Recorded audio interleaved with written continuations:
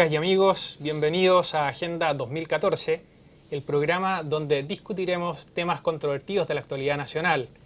El día de hoy hablaremos acerca de la polémica entrega de la píldora del día después, con un gran invitado que es José Tomás Enríquez de la Corporación Comunidad y Justicia. Veamos quién es nuestro invitado. Mi nombre es Tomás Enríquez, tengo 28 años, soy abogado de la Universidad Católica y estoy casado hace un año y tres meses. Actualmente dirijo como director ejecutivo a la ONG Comunidad y Justicia, que fue fundada el año 2012 por eh, algunos abogados de la Universidad Católica, dentro de los cuales me incluyo. Antes de eso trabajaba como abogado litigante en juicios civiles y penales y hoy día me estoy especializando en el derecho internacional de los derechos humanos con especial énfasis en la intersección entre bioética y derecho y en los derechos de los padres en la educación de sus hijos. Bien, estamos aquí junto a José Tomás. Bienvenido, José Tomás, a nuestro programa. ¿Qué es Comunidad y Justicia? Bueno, gracias Marco Antonio, gracias por la invitación. Eh, Comunidad y Justicia es una mm, organización de abogados que se creó el año 2012 por un, grupo de egresados de la Universidad Católica y que ha ido creciendo con el tiempo a abogados de otras universidades. Y la razón por la cual creamos esta corporación era específicamente para eh, tratar de ayudar a personas que se estuvieran viendo afectadas en causas que tuvieran que ver con derechos humanos y específicamente en algunos temas que a nosotros nos interesan y nos importan mucho, como son eh, la defensa del derecho a la vida desde la concepción hasta la muerte natural, la defensa de los derechos de los padres en la educación de sus hijos y en general el ejercicio libre de la religión en el, en el plano de lo público, por así decir. Esa es la razón por la cual creamos la corporación. Muy bien, ¿y ustedes consideran entonces que el tema de la píldora del día después es un tema de derechos humanos? Bueno, claro, tiene múltiples formas de, abordarse, partiendo por el más obvio, que, no era en particular el que nosotros discutimos en la última causa, que era sobre el derecho a la vida. Si existe eh, ya eh, en una persona concebida y el efecto de la píldora del día después es precisamente abortivo, entonces ahí tenemos un atentado al derecho a la vida. Pero por otra parte, eh, incluso, o dejando de lado esa polémica de lado por un instante, el, nosotros lo abordamos desde la perspectiva del derecho de los padres a saber qué es lo que pasa con respecto de su hijo y a poder ejercer ellos un rol directivo en la educación de los mismos niños. Bien, y en este tema entonces han tenido ustedes un eh, rol protagónico el último tiempo. Veamos nuestra nota acerca de la polémica jurídica sobre el tema de la, de la píldora del día después.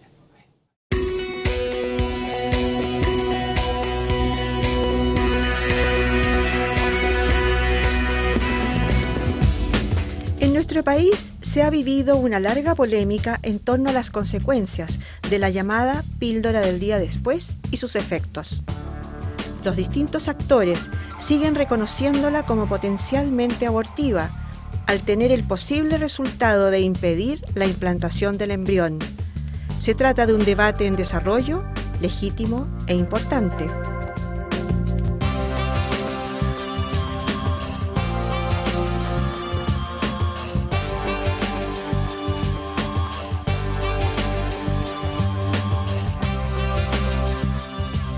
Chile, la ley 20.418, promulgada en enero de 2010, estableció que la pastilla anticonceptiva de emergencia debe ser provista a todas las mujeres que soliciten sin discriminación. Sin embargo, en octubre de 2013, el alcalde de Puente Alto, Germán Codina, en conjunto con la ONG Comunidad y Justicia, pidieron a la Contraloría General de la República acoger una iniciativa en la que se dictamina que antes de entregar la píldora a adolescentes menores de 14 años se informe a los padres, ya que de esta manera no se vulnera el derecho de los progenitores a saber lo que hacen sus hijos. Es así como el 22 de enero del 2014 la Contraloría revocó la norma acogiendo la iniciativa.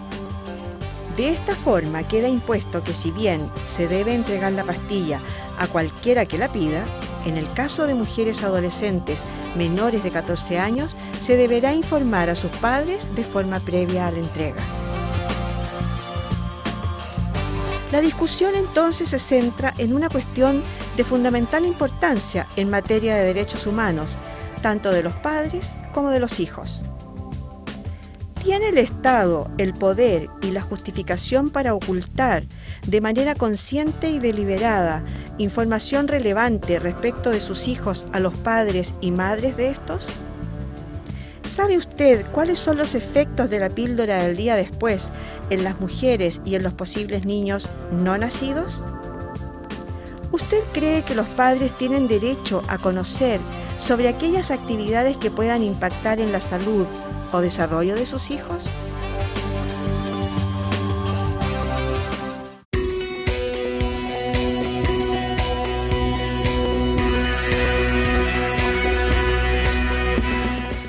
Llevamos años eh, discutiendo en nuestro país acerca de la píldora del día después. Los amigos y amigas que nos ven seguramente se han informado acerca del tema, seguramente tienen su opinión, eh, han leído escuchado a expertos discutir sobre la materia. José Tomás, ¿qué opinas tú? ¿Qué es la píldora del día después? Bueno, más que, que, que mi opinión en particular es lo que nosotros hoy día sabemos respecto de la píldora. Eh, la píldora del día después es un compuesto químico que se conoce como levonorgestrel, que es su, su componente activo, y que el efecto farmacológico que tiene, o que posiblemente tiene, eh, puede ser el de impedir la concepción, como también podría ser el de impedir la implantación. Y de hecho ahí es donde está el, meollo de toda la polémica. Eh, Hoy día la, los avances de la ciencia médica y la investigación respecto de los efectos de, del levonorgestrel en mujeres que se encuentran embarazadas no ha llegado a una conclusión definitiva acerca de cuál es el efecto específico que tiene. Eh, lo que se reconoce y se ha reconocido históricamente respecto de, mm, del fármaco, inclusive por los mismos fabricantes y así como también por algunas agencias de eh, fiscalizadoras de salud alrededor del mundo, como lo hace la FDA en Estados Unidos, es que dependiendo del momento en el cual se toma esta pastilla, el, el, el fármaco levonorgestrel, el efecto que podría tener en la mujer que se encuentra eh, o que lo toma podría ser de impedir la concepción, es decir, eh, podría funcionar como cualquier otro anticonceptivo que simplemente impediría que el óvulo sea fecundado por el espermatozoide, o podría ser que impidiera la implantación. El problema se da precisamente con respecto a ese escenario, porque cuando se impide la implantación nos encontramos en una etapa dentro del proceso de, del embarazo en que eh, ya tenemos un óvulo fecundado, pasa a ser un cigoto, ese cigoto corresponde a un nuevo individuo de la especie humana que está ya completamente individualizado y determinado genéticamente en términos de, de, quién va a ser esa persona, eh, y que al momento de llegar hasta el útero de la mujer, en que correspondería que se implantara en la pared del endometrio, eh, en ese momento la píldora actúa de tal forma de hacer que todo el endometrio se desprenda y por lo mismo esa, ese cigoto, ese embrión, simplemente pasa afuera del organismo de la mujer y por lo tanto muere.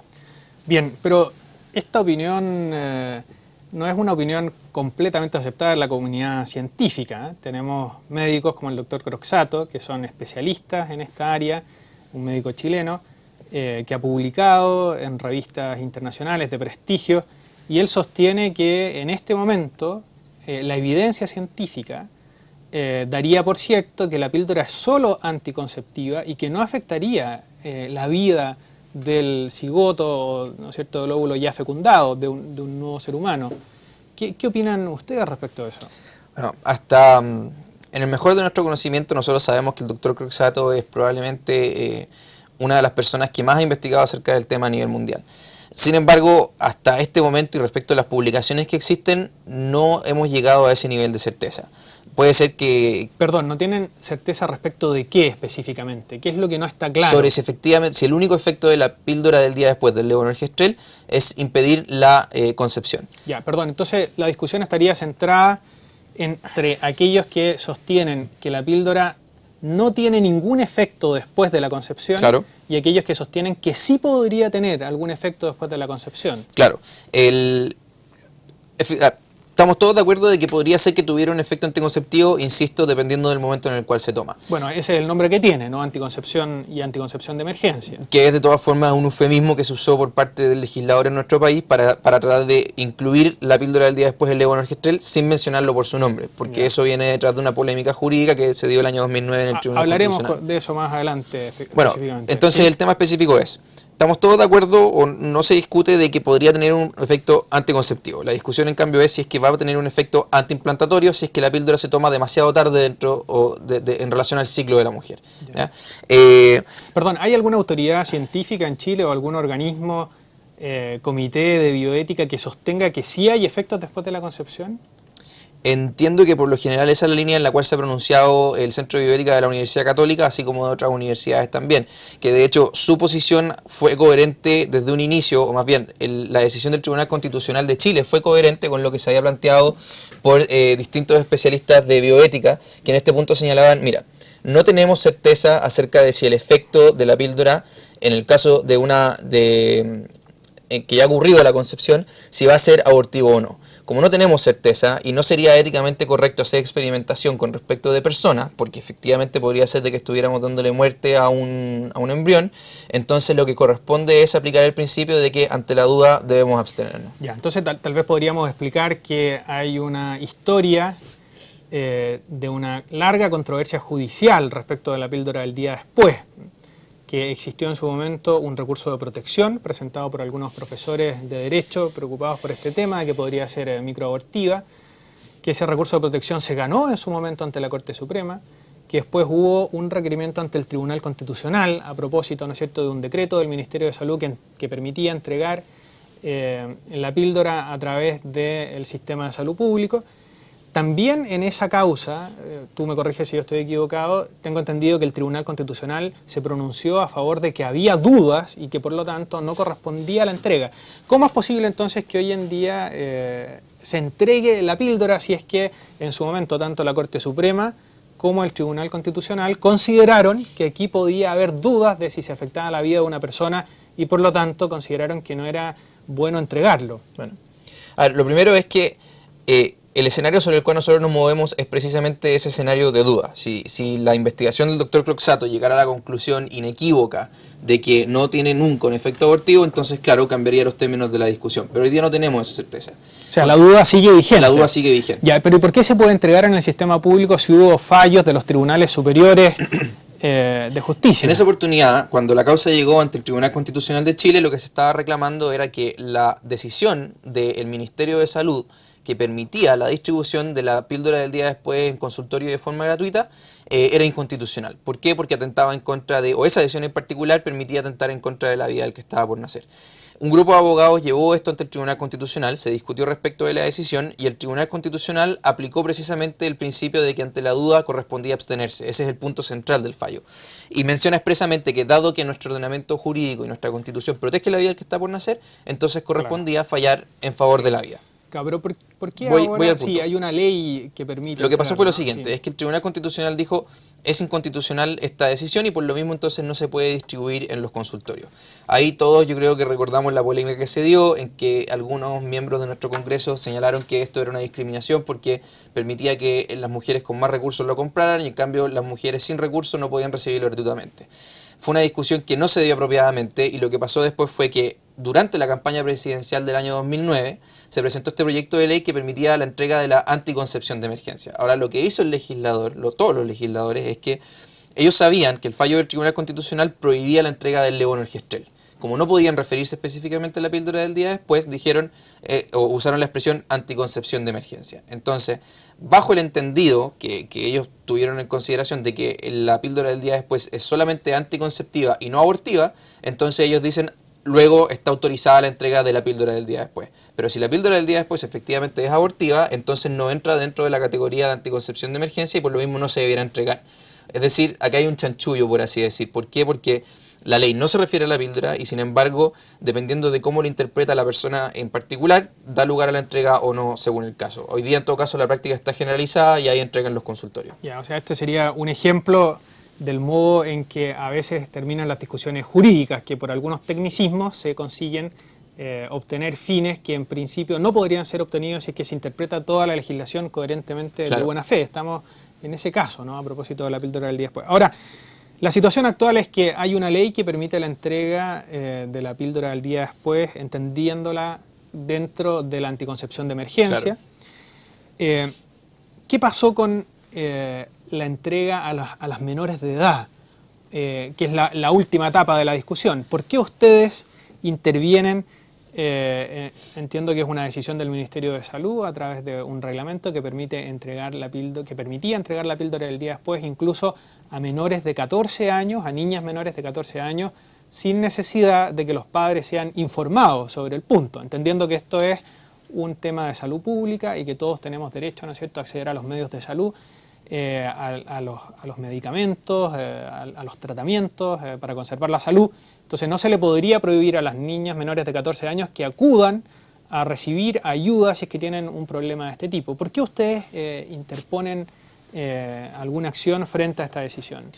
Bueno, lo primero es porque era patentemente ilegal el reglamento. La ley, independiente del contenido de la ley, con el cual no estamos 100% de acuerdo, la ley 20.418 dice específicamente de que tratándose de personas que son menores de 14 años, se les tiene que entregar la anticoncepción de emergencia y con posterioridad existe una obligación de informar al padre, madre o adulto responsable de la menor.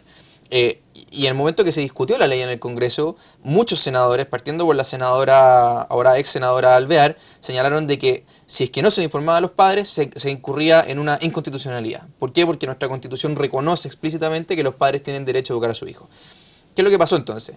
Que eh, bajo el Ministerio de Salud del, ahora ex ministro Mañalich eh, se dictó un reglamento en el cual se señalaba, o la redacción que se utilizaba, daba a entender de que era el médico o la matrona la que decidía si quería informarle o no a los papás, al papá, mamá o adulto responsable de la menor.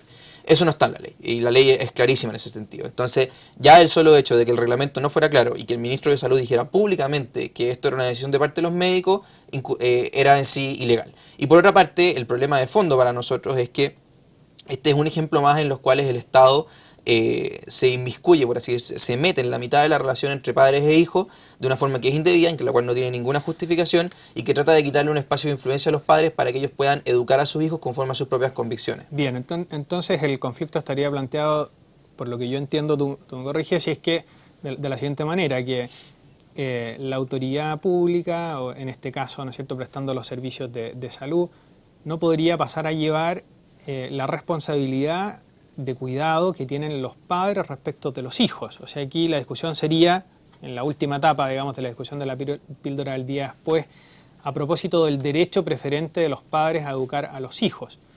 ¿Por qué ven ustedes afectado ese derecho si es que una niña considera que tiene un problema y va a buscar un anticonceptivo? ¿Por qué eso afectaría los derechos de los si los papás tienen una obligación de mantener a su hijo, como es el caso, y no solamente porque la ley lo dice, sino que por, por derecho natural, podríamos decir, los papás tienen una obligación de mantener a su hijo y de criar a su hijo. Como tienen esa obligación, entonces al mismo tiempo tienen el derecho de que nadie interfiera en que ellos puedan cumplir con su deber.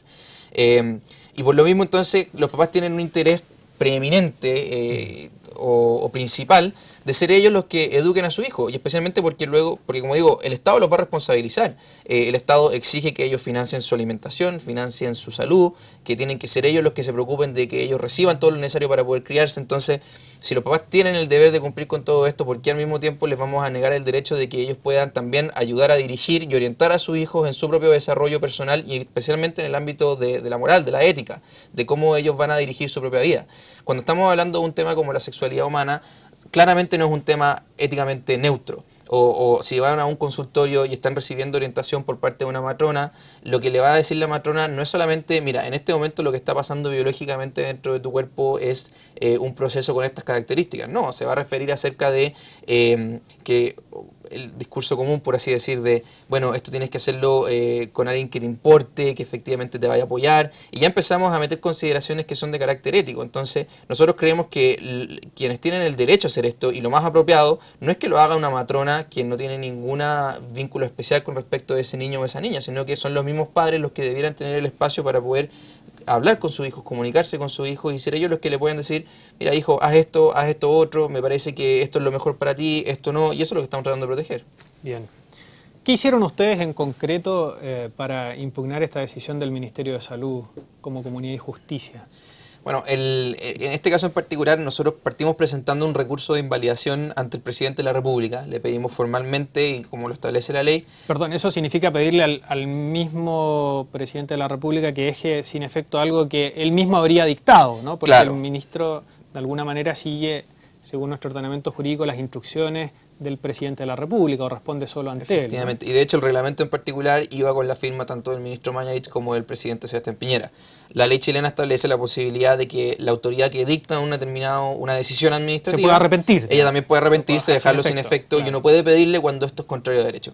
Nosotros partimos por esa vía, se lo pedimos al presidente, no tuvimos respuesta de esa forma y entonces tomamos la decisión de pasar este asunto a la Contraloría General de la República. ¿Qué significa que no tuvieron respuesta? ¿Les dijeron que no?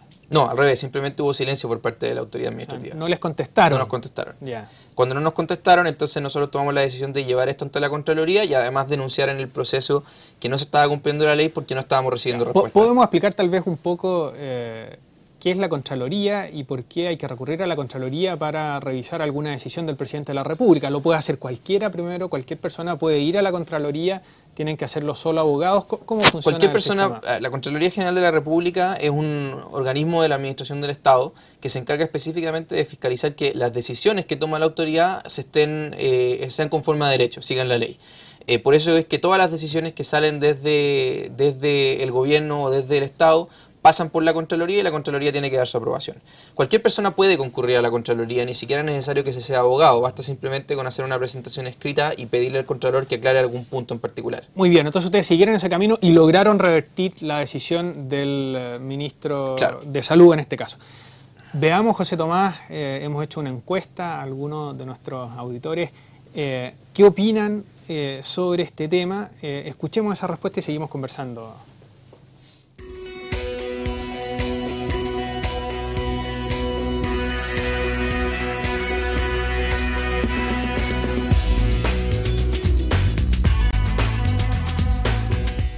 Pienso que las personas que sufren una violación. La, las niñas jóvenes, yo creo. Una niña que tenga poca edad también y que irresponsable.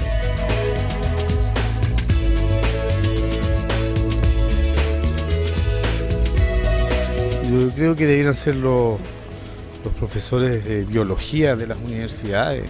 Los doctores, por supuesto. Las matronas. La doctora, pues, el médico.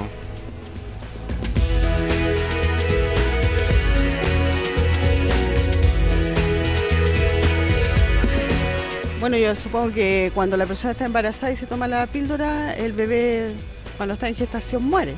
No pueden tener niños, ¿no? Sí, no, no pueden quedar embarazados. Si se toma con, con moderación, no creo que traiga ningún problema.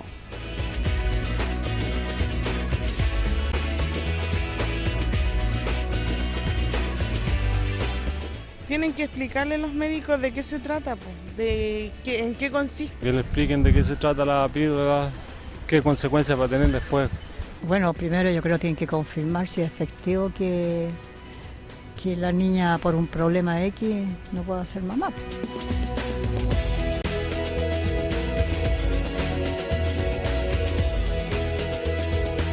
El aborto es una intervención mecánica.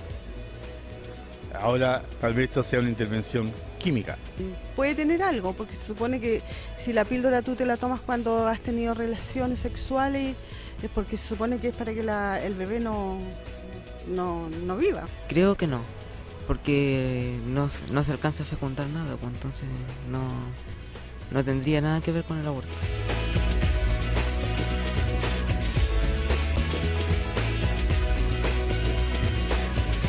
La píldora, eh, lo anticonceptivo es para cuidarse, o sea, tú en ningún momento quedas embarazada. Sin en cambio, la píldora es para matar el, el bebé, porque al final es un bebé que está ahí. ¿Qué más segura? ¿Algo así? Creo que la píldora es antes de y los otros métodos son después de.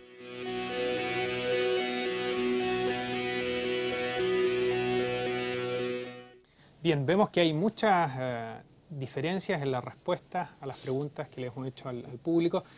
Eh, tal vez podríamos distinguir los planos, eh, José Tomás, para ir cerrando ya la última parte de nuestro programa. Primero, ¿cuál es la información médica disponible para que las personas puedan tomar sus decisiones de acuerdo a la información disponible? Esto tiene que ver con el consentimiento informado. Todos tenemos derecho a saber cuáles son eh, los efectos de los medicamentos que tomamos y otra eh, es el plano legal o jurídico. ¿Qué derechos podemos exigir frente a los mismos médicos o frente al Estado? Entonces, primero, respecto del tema médico, co- ¿cómo está? Ya lo, lo hablamos al comienzo, pero ¿cómo consideras tú que está ahora? no? ¿Qué es lo que la gente debería saber para saber si pide o no la píldora? Como te dije al principio, eh, hoy día todavía seguimos con una duda. No tenemos claridad absoluta respecto de cuál va a ser el efecto y por lo demás, como hoy día tampoco es posible que eh, la mujer o el hombre o el médico sepan a ciencia cierta en qué eh, etapa del proceso eh, de- del proceso de posible desarrollo del embrión se encuentra al momento de tomar la pastilla el día después, entonces eh, no se puede saber si el efecto va a ser abortivo o no, si efectivamente se fue el efecto. Hoy día, por lo demás, en Chile, además de la ley 20.418, existe la ley de derechos y deberes de los pacientes, que establece que todas las personas en el país tenemos derecho al consentimiento informado. Eh, es decir, que al tiempo de recibir cualquier tratamiento médico, inclusive, por ejemplo, el consumo de la píldora del día después de cualquier otro remedio, eh, tenemos derecho a que el médico nos informe de forma detallada cada uno de los posibles efectos que tiene el tomar cualquier medicamento o entrar en cualquier tipo de tratamiento. Lo que significa que para cumplir efectivamente con la ley, cada vez que una persona fuera a un consultorio, sean mayores de edad o menores de edad, y en particular con los menores de edad, eh, el médico o matrona debiera dar a conocer que el posible efecto de la píldora del día después puede llegar a ser abortivo y que todavía no tenemos certeza acerca de O sea, eso. eso debería informársele al paciente y en el caso de los menores debería informársele a los papás del, del menor o, o al que esté a cargo del menor. ¿Es así? Bueno, el- como nuestro ordenamiento jurídico eh, y en general toda la legislación chilena tiene un problema, que es que eh, no hay claridad acerca de la mayoría de edad o cuándo se entrega autonomía para tomar las decisiones. Y así como, por ejemplo, eh, desde el punto de vista de contratar o comprar o lo que sea, eh, uno no es mayor hasta que no alcanza los 18 años. Por otra parte, eh, en otras materias distintas, como la posibilidad de consentir en tener relaciones sexuales, O en materia penal, por o en ejemplo. materia penal, por ejemplo, eso ha cambiado y el límite está mucho más abajo, está a los 14 años. Para, para efectos de la ley de derechos y deberes de los pacientes, si no me equivoco, eh, la ley lo que zanjó fue que tratándose de personas que son menores de 14 años, no son ellos los que están llamados a consentir en los tratamientos, sino que son, eh, o que, sino que se tiene que informar a los papás para que sean ellos los que puedan consentir en que su hijo lo reciba. Lo que significaría que además, independiente de lo que diga la, la- le diga, diga la ley 20.418 respecto de la entrega de la anticoncepción de emergencia, en estricto rigor los padres tienen derecho a saber anteriormente porque ellos tienen que ayudar al hijo para ver si que consienten o no en el tratamiento. Bien, entonces desde el punto de vista jurídico, ahí de los derechos eh, que tienen los pacientes y por lo tanto los deberes que tienen los médicos, los que realizan las prestaciones de salud, primero los mayores pueden, o las personas mayores pueden en este momento pedir la píldora, pero tendrían que ser informados respecto a las consecuencias que eso tiene. Sí. En cambio, las mujeres menores de 14 años O los hombres. O los hombres, y los hombres pueden pedir la píldora el día después. Pero por supuesto, podría Ya. ser, claro, el tema es que no lo van a consumir ellos, pero podrían ir al consultorio y pedirla y Ah, podría sí, ser ya. para entregárselo a alguien más. Ya, y ellos en cambio, los menores de 14 años tendrían que ir eh, acompañados de sus padres. ¿Cómo es el tema del, del- del consentimiento? Bueno, eso, como te digo, no está completamente resuelto. Si nos guiáramos solamente por la ley 20.418, la verdad es que no, no hay necesidad de que vayan acompañados y lo que se, o, o se cumpliría con la ley por el hecho de que después de que se les entregue la pastilla, eh, se le informe al papá, mamá o adulto Ya, o sea, responsable. y no sabemos estar- cómo le va a Tienen que informar. estar informados, ese, ese es el, eh, Sí. el deber jurídico, Sí, ¿no? sí, tienen que estar informados. Es lo que- que se puede exigir, lo que pueden exigir los papás, ¿no? Claro, y tienen derecho a exigir que se les informe e incluso podrían llegar a demandar al Estado si es que el Estado no les informara eh, o, o si ellos llegaran a saber de que su hijo recibió cualquier tipo de medicamento sin que ellos estuvieran conscientes de eso. Ya, pues José Tomás, ¿crees tú que esto se pueda cerrar eh, en algún momento el, el tema de la duda, que la- el avance del conocimiento científico nos deje claro si es que esto es abortivo o no en el corto plazo? Para terminar con esta discusión. Yo no, no- estaría en condiciones de decirte porque no es mi, mi campo de expertise la medicina, pero eh, la investigación está avanzando en esa materia. El, ojalá que en algún momento se resuelva para cualquiera de los dos lados, porque significa que vamos a tener certeza acerca de la situación. Eh, solo espero que no nos lleguemos a arrepentir después cuando nos demos cuenta de que efectivamente fuera abortiva y significa que hemos estado matando a millones de personas en estos años. Claro, en, en ese sentido sería mucho mejor que se comprobara que efectivamente no es abortiva para que no tuviera... Y nos quedaríamos no- tranquilos. no tuviera- nos quedaríamos todos tranquilos. Lo que sí está claro es que los papás tienen derecho Sí. a intervenir en las acciones de salud que se toman respecto de sus hijos y eso está completamente vigente. Bien, pues José Tomás, te agradecemos eh, tu participación en nuestro programa y dejamos a todos nuestros amigos y amigas auditores invitados a otro tema de actualidad pronto en Agenda 2014. Muchas gracias.